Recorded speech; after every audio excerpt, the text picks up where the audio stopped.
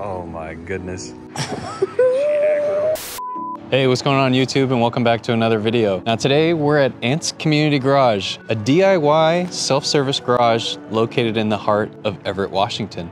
And what we're actually gonna be working on today is my 1997 BMW 328i. So we should actually walk in here, give you guys a quick glimpse as to what the car looks like, but I'm very excited to show you guys what we have because in the last video, we just did the ECS tuning coilovers. So we have the car lowered and now we're on to the next step of showcasing the wheels and tires that we got for this car. Now, this has been something that's been in the works for a while that I've been having to keep under wraps. And unfortunately, I had to wait a little bit extra longer because things were on back order. So what I have here is the Apex Arc 8. This is in the 17 by 9 with a plus 30 offset. And for the E36 chassis, what we're gonna figure out real quick is how to actually fit these which I'll show you here in a sec. But before we get into that, the Arc 8 is a great wheel because it's flow form, it's lightweight, and it's very applicable with a lot of Euro cars. So when it comes to any sort of E36, E30, or even E46 and beyond, it's a very popular option. And I mean, for me personally, this is like a dream setup.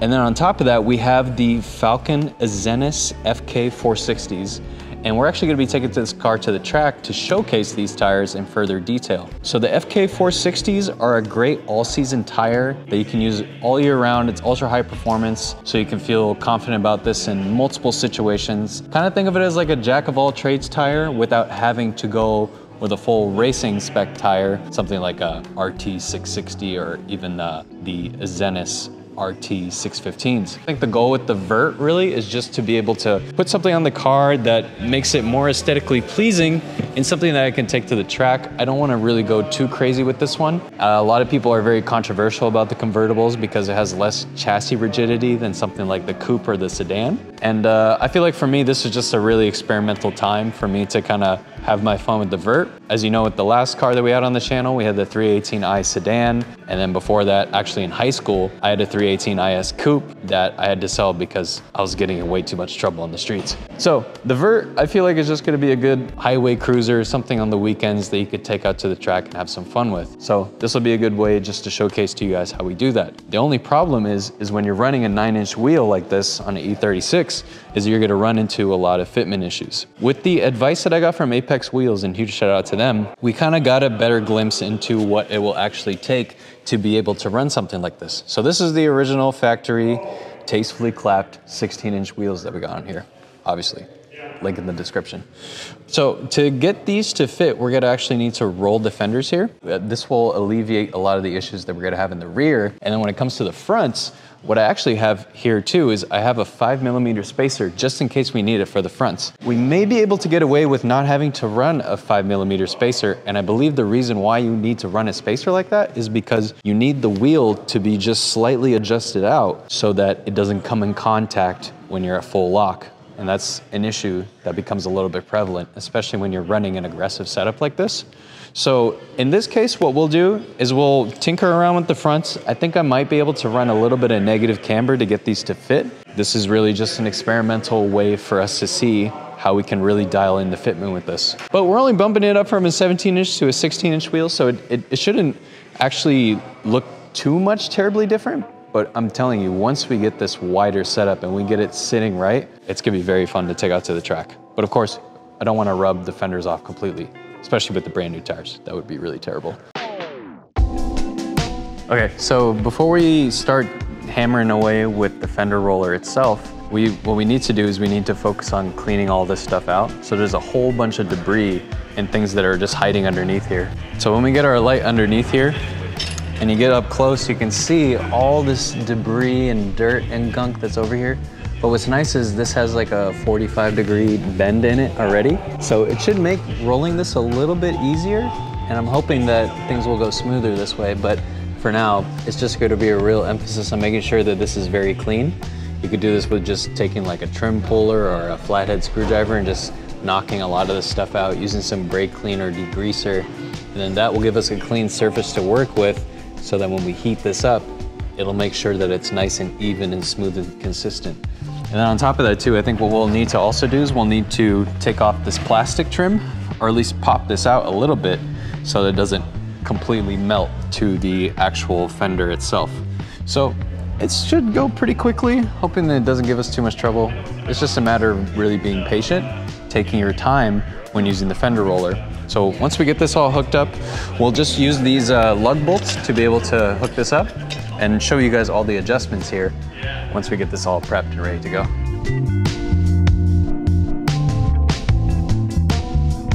So we just spent some time cleaning this up. I took the trims off of the side just to avoid any melting of the plastic. And uh, Harrison, if you want to get in here and show the people on the inside what we're looking at, this is what you kind of want the final result to be, you know, using a little bit of brake cleaner to get rid of as much debris as possible. But now we're working with a relatively cleaner surface. It doesn't have to be super duper perfect, but you just wanna make sure that you're not like lighting debris on fire or having this stuff get in the way because of this lip that goes on the inside. What you essentially wanna do is you almost wanna fold this in because this edge is gonna be getting caught and is gonna cause the wheel to rub up against this. So we wanna prevent that from happening. So this is gonna be the stage now where we start applying heat. The biggest name of the game with this is really just patience. You know, maybe allocating around like 20 or 30 minutes per fender when you're doing the roll. It's better to go a lot slower than regretfully putting too much pressure and then causing something to crack, uh, the paint getting warped or the fender getting warped. That's gonna be much harder than you just being slow and steady and then getting it to the right place. So now this is just a matter of really sitting here, honing in on just uh, making sure we apply the adequate amount of heat and then we'll get rolling on this. We'll test fit the wheel, see how it looks on there, and then uh, hopefully we can kind of dial in the fitment and see how it goes. Okay, so Harrison and I, we're gonna do a little bit of tag teaming here where you're gonna be keeping the heat on while I go and try and do a pass. See if this kind of works. Usually, you know, in the instance, if you're by yourself, you can just like blast this with a bunch of heat, get it to the point where if you wanna touch it, you know, you put your hand on it for like a second or two, and then if it's too hot, that means it's kind of at the perfect temperature for you to start rolling. But we'll, we'll give it a shot, see how it goes. All right. Try not to burn your fingers. No, you're not gonna burn my fingers, bro. You're all good. I don't want to melt this pour. You're not gonna melt you it. know? You're all good. So, uh, just to give you like a point of reference for like the amount of speed you want to use when you're rolling this, I would say maybe like try and cover an inch a second. So just be very slow with it with an adequate amount of pressure. And this is gonna be most of your adjustment that's happening right here. And we're just gonna slowly push this across, feel the pressure without going too haywire with it, because it's a slow roll. But you, you can even see when I roll off the, the metal portion of the fender that there's definitely an adequate amount of pressure. If you need to back off a little bit just to get back on, like in this case, we'll get back on track. And it feels, feels pretty toasty. We did it on this side, but it's just definitely not enough for us to get any sort of clearance when we're low.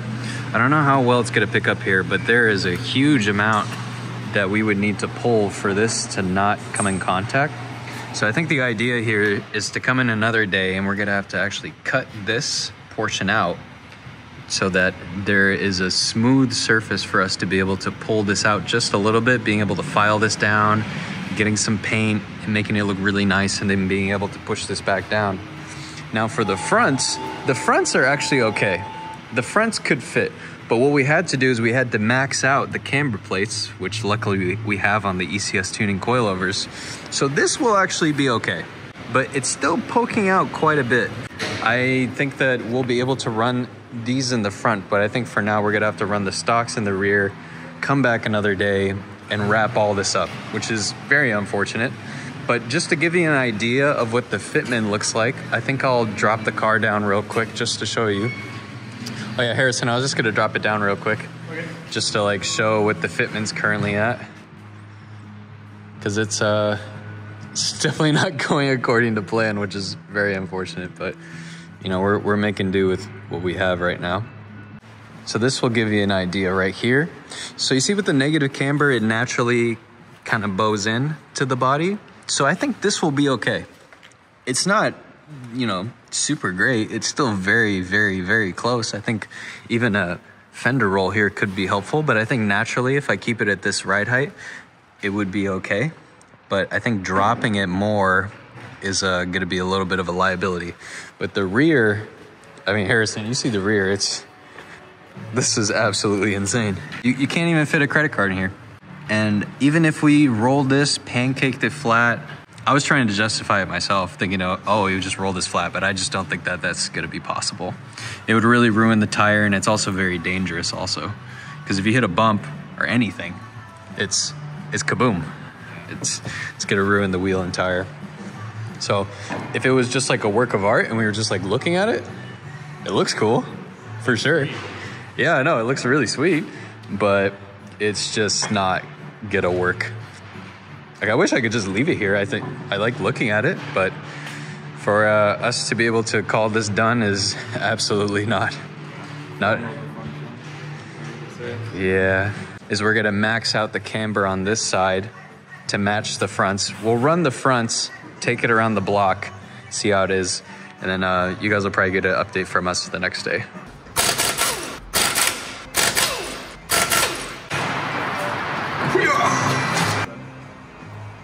I'm scared to lower it a bit more. I know that I probably could, but I mean, oh my goodness, goodness gracious.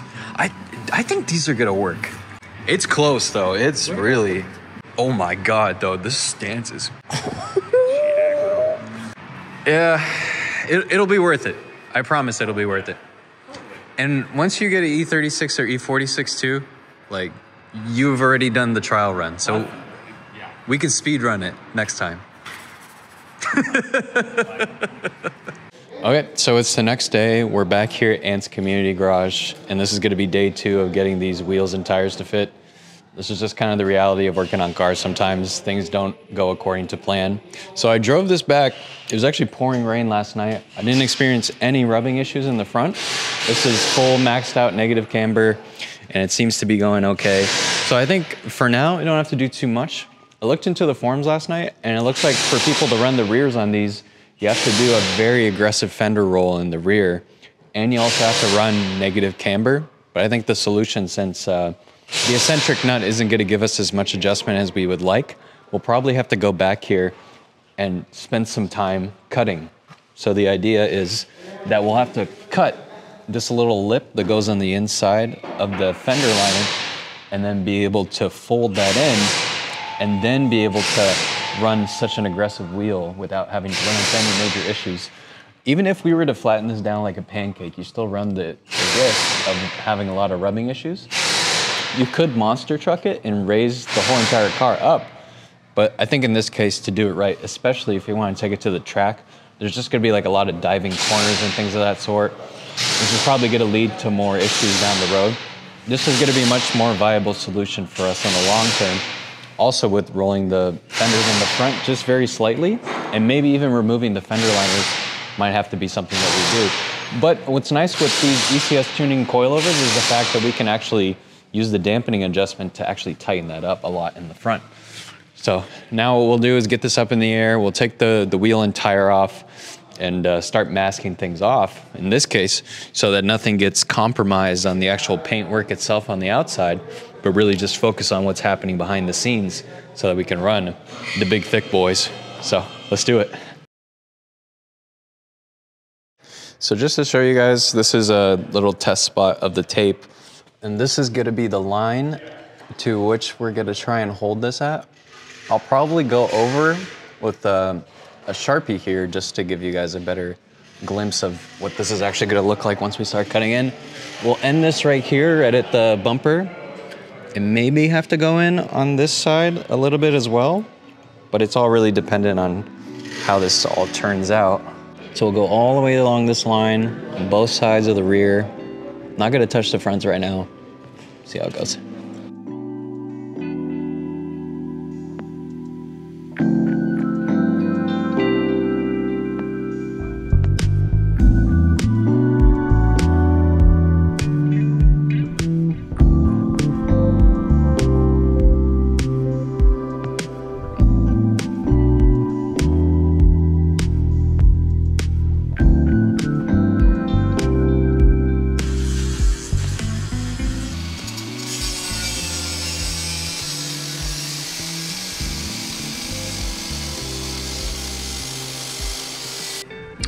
One eternity later, we cut.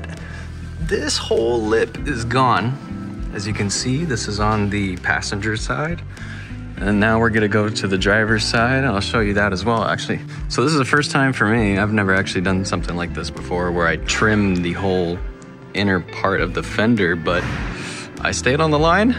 Now it's just gonna be a matter of uh, making sure that this is nice and smooth. And now I'll take the fender roller, smooth this out, and then I should be able to, to fit the wheel back on there. Just using a round file right here.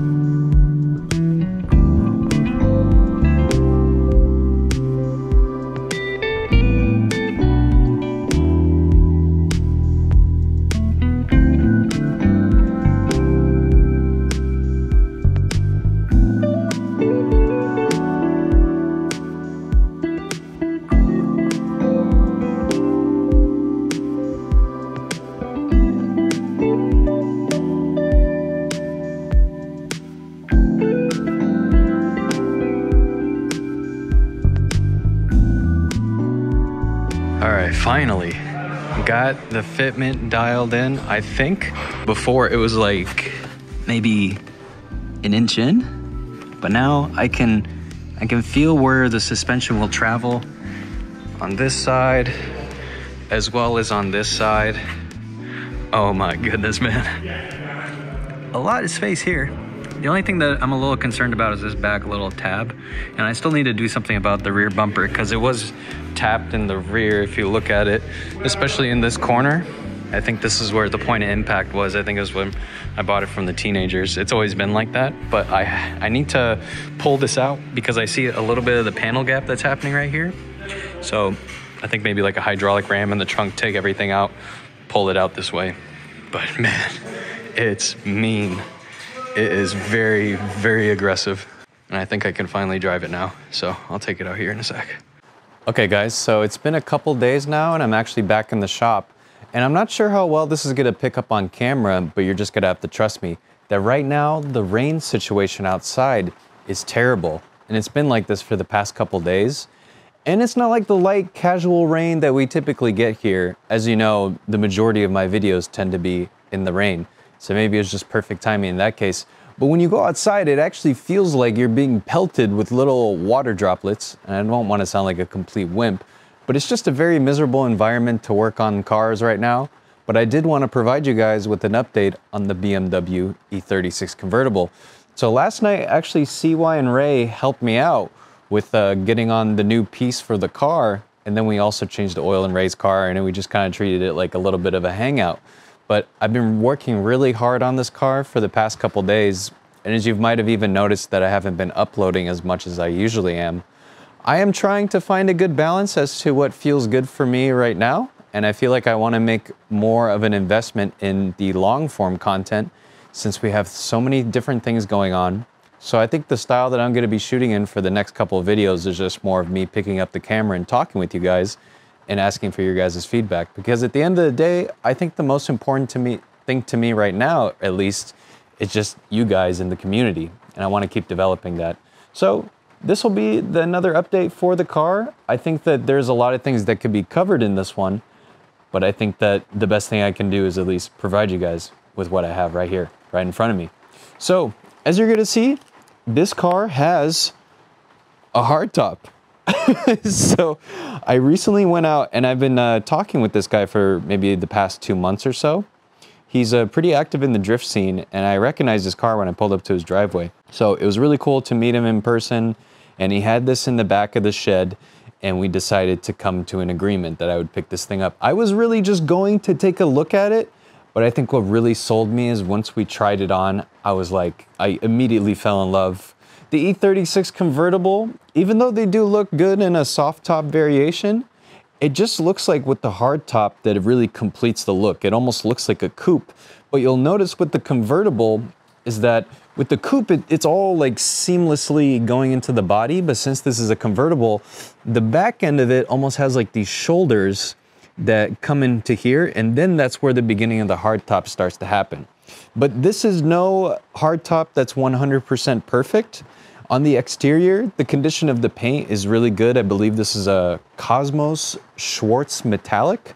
It's like a, a very dark shade of black. And uh, I can't remember what the exact name of the paint is for this one. I'll have to look at the, the front strut tower over here and we can take a peek. So yes, this is a Cosmos Schwarz Metallic. So, okay, so it's a perfect match. This is something that is very hard to find these days, but the, the most cumbersome thing that I'm slowly learning about this is that it's very difficult to take this top off by yourself. Now, if you have another person here, a two-person job or even a three-person job, it makes it a lot better. This is not like a little Miata where you can take the hard, hard top off and it's so cute and you can put it to the side and store it somewhere. This, you kind of have to have a good place for it. And for now, I'm just kind of trying to navigate through it. But for the majority of the stuff when it comes to the wheel and tire setup and getting this to a point for where it really feels dialed in, I think we really nailed it. So with the Apex Arc 8s, this is a 17 by 9 with a plus 30 offset, squared off. A lot of people, they'll run the flat face setup, which I believe is like a 17 by 8.5 or 17 by 8. And that doesn't lead you to any rubbing issues. And my goodness, I had to spend so much time to get these rear quarter panels and fenders to clear for these to be ran. So it's just something that I think is worth the sacrifice, especially if you want to go from a aesthetic standpoint, because that's really the definitive goal as to why you would go with the concave wheel. It's not to make things more difficult for you, but it's it's to provide more of a contact patch because you have a wider wheel.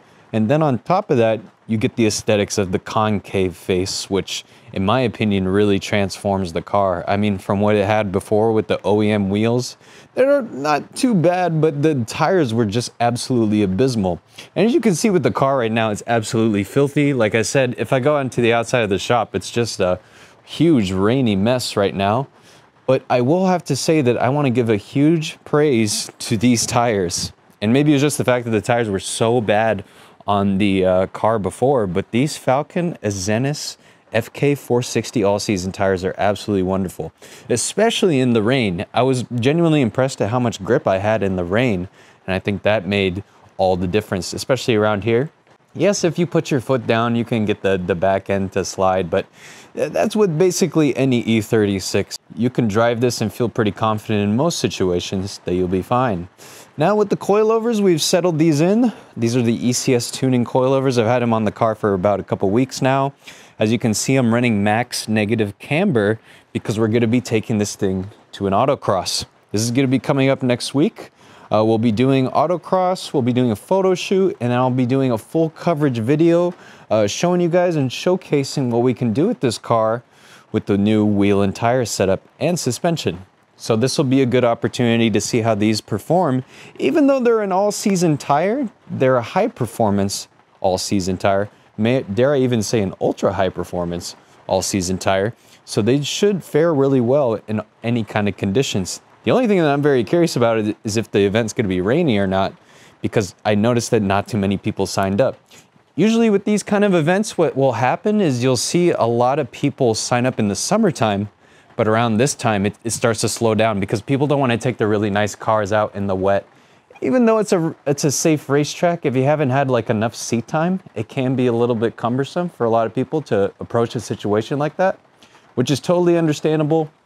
But in this case, with the E36, this is going to be a really fun one. And I feel extremely grateful for the opportunity to do any of this stuff with the convertible because we came a long way with this one, you know? I bought this on a whim after I sold the 318i sedan, where I was absolutely distraught at the idea of getting rid of that car.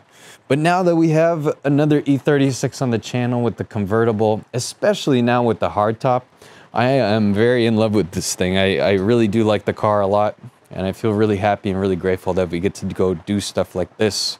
Now, the reason I have the lights up here is because I was actually doing uh, planning to do an oil change soon because that's going to be kind of the next steps for me is just to slowly prepare this car.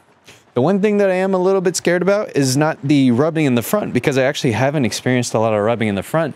But sometimes when I go full lock, the fender liners, especially on this corner, come very close and they do rub. So I think what I'll have to do is kind of get this car up in the air and investigate that further. But the fender rolling went re really, really smooth. There's no like major uh, paint cracking or anything like that on the outside. I do need to go back and maybe put some RTV uh, silicone sealant on the on the back portion because of the fact that we had to cut this to roll it. Now that's completely optional. Uh, I see so many people, you know, they'll just grind down the lip that's on the the rear quarter panel itself that goes into the wheel well, and you should be able to get away with that with a pretty aggressive roll. But since I want to track this car and I don't want to deal with rubbing issues at all, this is kind of like a fail-safe response to all that. And apologies that the the lighting isn't super great right now. So let me grab a light to show you guys a little bit better, at least what it's currently looking like. So the the brake rotors, they're starting to get there. It would be nice to do a refresh on the brakes. I think that, you know, this will be a good opportunity for us to see how they feel on track. But I have a feeling that there is definitely uh, more to be desired here. So maybe like a big brake upgrade could be pretty good. So maybe if uh, there's any E36 enthusiasts in the comments that have any ideas, I would definitely be open to that. But for what it is, man, it, it really came out awesome. I did want to take it out today to give you guys a little bit of a point of view drive like I typically do in my content. But I think I'm just gonna wait until the autocross event because I think that's gonna be the best situation to show you guys, you know, a full chatter what the E36 convertible can do. The first time that we took this out, it was absolutely hilarious. And I almost uh, gave CY a heart attack in the thing and they had to pull me over to the side and be like, hey, you gotta, you gotta settle down a little bit because this thing was very tail happy. So the one thing that I will say from driving the coupes and the sedans, uh, I've actually never driven a TI, so maybe that's the next one on the hit list of the E36 saga. But for anybody that's driven the sedans, it feels a lot lighter in the rear than the convertibles. So the convertibles theoretically are maybe around 200 pounds heavier. I'm not sure exactly what the exact weight is, but you can find that on the internet. And that's why people kind of shy away from the convertibles because they're a little bit more high maintenance there's a little bit more weight, but theoretically it's all really the same E36. The nice thing with these ones too is that they have the bracing underneath from the factory, which kind of helps with the chassis rigidity. And it helps too that if you get a hard top like this, it helps bring on more rigidity to the chassis overall. Yes, you are adding more weight, so the car is going to be heavier, but when you do this, uh, when it, when it uh, cinches here in all four corners with the locking mechanisms, you know, it, it almost makes it feel as one. I mean, it's, it's, a, it's a very sturdy piece. I believe it's a piece of sheet metal that's lined with some fiberglass. And it even has the full defroster with the rear window. This one is tinted. I thought maybe I would remove the tint, but it's actually not too bad. But it needs restoration 100%. So the biggest thing that's happened to me now is that it's constantly leaking. Oh my God, what a disaster. So I had to find this out the hard way. So it was pouring rain just like a day on this. And then uh, I had to come outside and I saw that it was dripping right here at the A-pillar. So what I did is I put some weather stripping in between here. And uh, we, we put the top back on and CY and Ray helped me out with that one. I got the mounting hardware in the rear because this convertible didn't have it. So we were actually using a ratchet strap like this and we just kind of cinched it down. But in this case, I think it should be okay. So the headliner, as you can see, it's uh, very droopy. And I know the lighting's not super great in here, but you're just gonna have to take my word for it that it is very droopy. But the fabric itself is in good shape. It just needs the adhesive to be put back on. And in terms of just like the difference too with the hardtop is like the noise isolation is pretty tremendous, the, the difference. It again, it feels like a coupe. When you're on the highway, it's much quieter. The car overall is just much quieter and it makes it much more enjoyable to drive. So that's all I really got for this car right now. Like I said, I feel really appreciative of the opportunity. I want to give a huge thanks to Ant's Community Garage, Apex Wheels, and Falken Tires for being able to make all this stuff possible for us to really transform the E36 convertible into something else. But on top of that too, the reason I haven't been posting as much is because I also picked up another car for the channel. You guys aren't gonna believe it, man. We went out and we bought another car.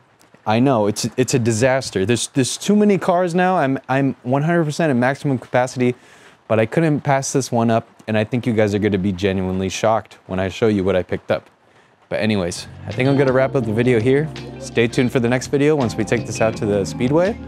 Make sure to check out my Patreon if you wanna see more exclusive content and support the channel that way. We also have merch, and I'll leave all the links down below. But anyways, thank you guys so much, and I'll see you in the next one.